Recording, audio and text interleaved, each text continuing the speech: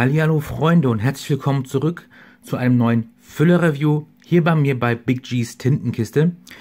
Heute möchte ich euch gerne einen Füller vorstellen, von dem ich eigentlich auch schon zwei Reviews gemacht habe, allerdings in einer anderen Version. Und ähm, dieser Füller hier ist auch einer von den Füllern, die Sammler und eigentlich auch Liebhaber von der Farbe, muss ich sagen, äh, ja so, so ein bisschen so ins, ins Auge geworfen haben.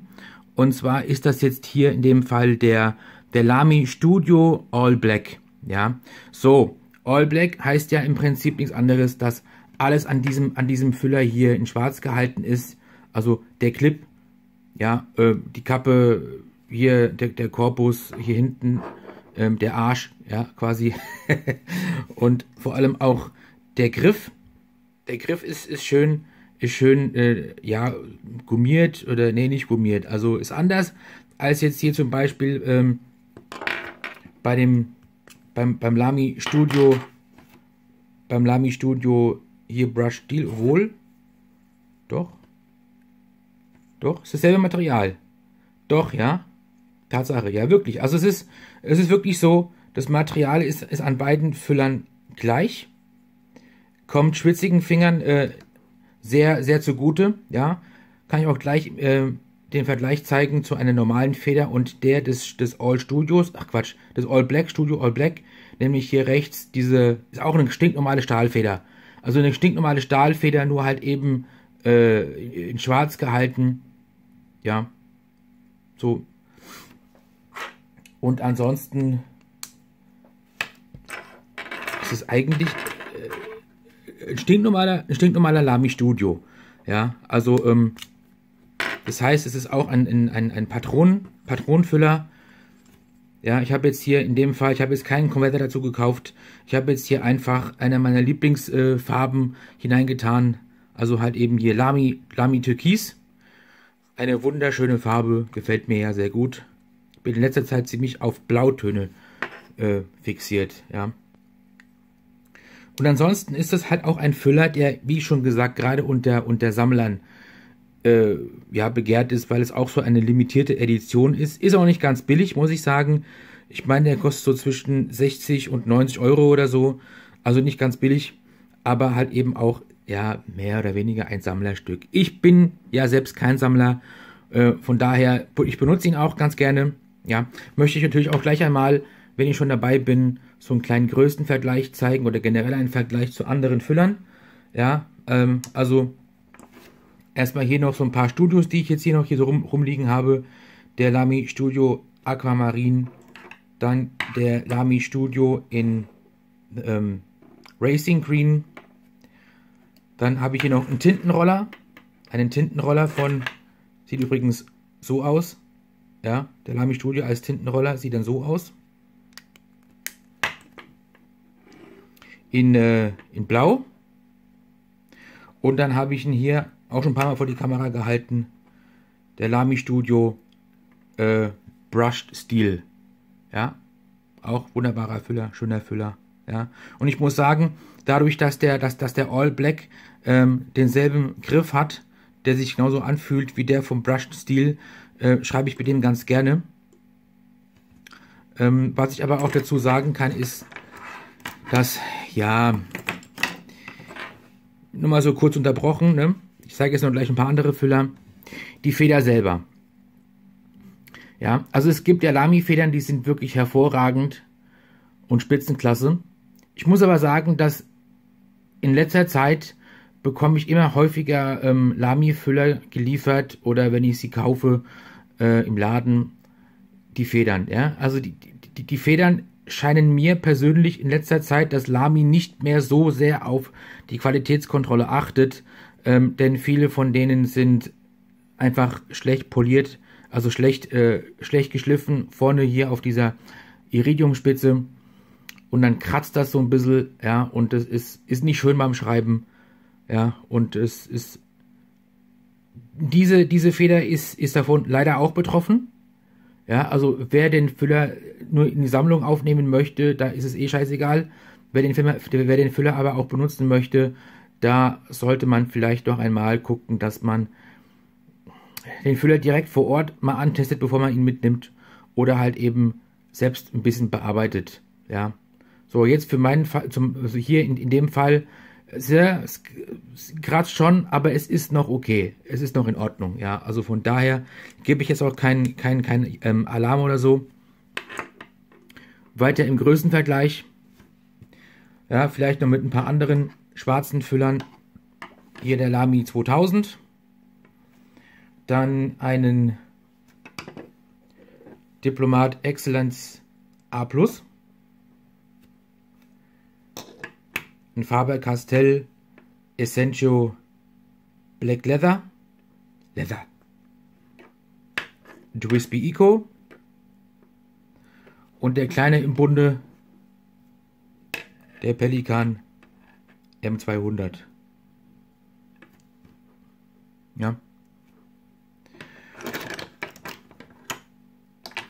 Oder vielleicht noch mit ein paar anderen Füllern, noch so ein paar. Nämlich hier einmal der, der Lamy All-Star in der Copper Orange Version. Dann einen Benu Briolet Saphir. Ja, und weil er hier auch noch gerade rumliegt, ein Benu Chameleon in der Version Happy. Ja, dann kann man hier noch einen Twisby Back 700 mit dazulegen. Und ja, warum nicht? Komm. Ein Twisby, Twisby Go. Ja. So. So viel zum Größenvergleich. Ja, das heißt ja immer, es kommt auf die Größe an. Manche sagen, es kommt auf die Technik drauf an. Das kann sich jeder selbst ausdenken, wie er will. ja, okay. Im Übrigen auch natürlich, ne? wie die anderen Studiomodelle auch. Äh, die Kappe lässt sich sehr gut aufkappen mit diesem, ja, ich weiß nicht, ob man das hört. Das ist dieses, dieses Geräusch. Also man hört, es knackt irgendwie so ein bisschen, es, es rastet ein und damit hält dann auch quasi die Kappe bombenfest. Also so schnell geht das nicht ab. Ne? So, okay, also Schreibtest, ein kleiner Schreibtest, ein, klitze, ein klitzekleiner, winzig kleiner Schreibtest mit dem Lamy Studio.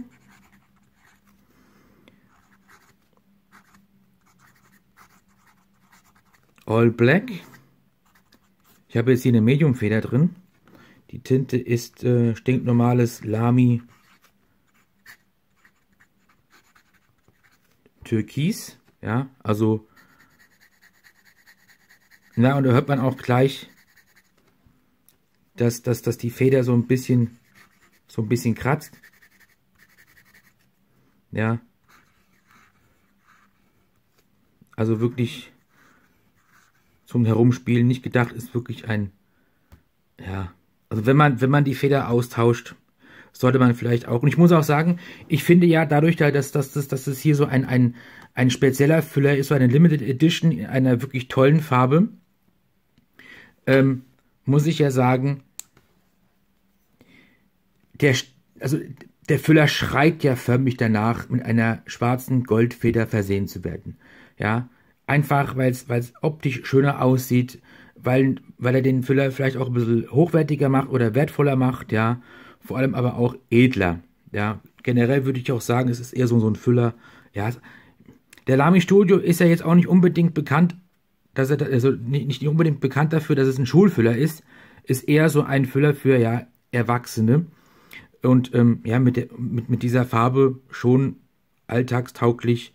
Ja, für Leute, die, die ein Sakko tragen und Hemd mit Krawatte. Äh, sieht auch schon schick aus, stylisch aus ja, vielleicht neben einem Mont Blanc oder einem Pelikan M1000 oder, oder, oder, oder. Ja, so. Ähm, mal so einen kleinen Satz, mal wieder nichts. Ja, heute, heute bin ich ein bisschen kreativlos, deswegen schreibe ich einfach mal hier äh,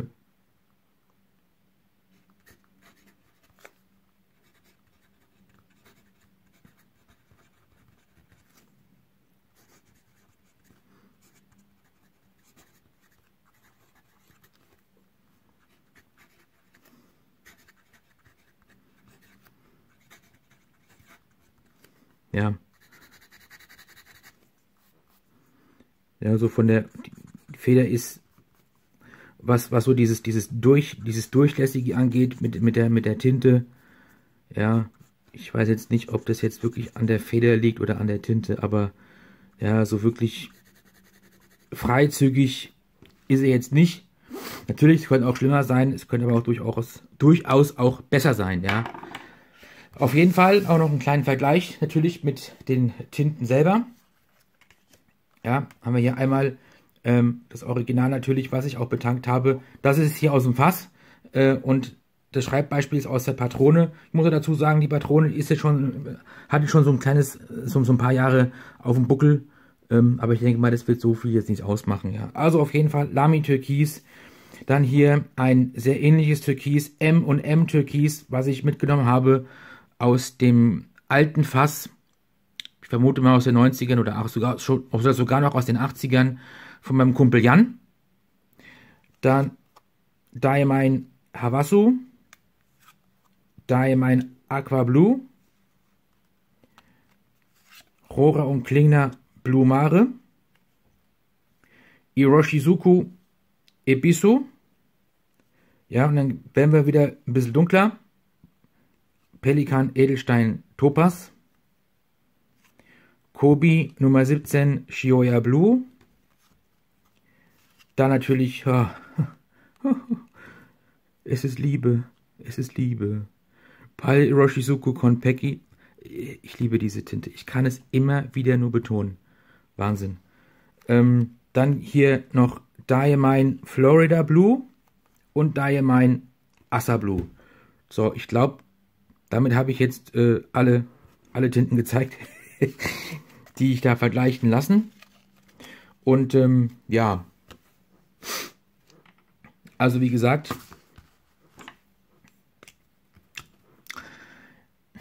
es ist sogar sehr gut möglich, muss ich ehrlich sagen, dass dass ich, dass ich diese Feder im Laufe der Zeit auch austauschen werde und ersetzen werde durch eine Goldfeder.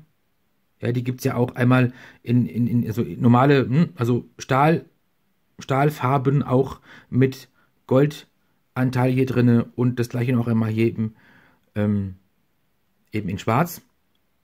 Und ich denke, da kann man den Füller auch noch so ein bisschen aufwerten, ja. Also, weil dieses, dieses, ich weiß nicht, hört ihr das? Und das ist, das ist kein Feedback. Ja, also ich muss sagen, da hat, da hat Lamy ähm, wirklich nachgelassen in der Qualitätskontrolle.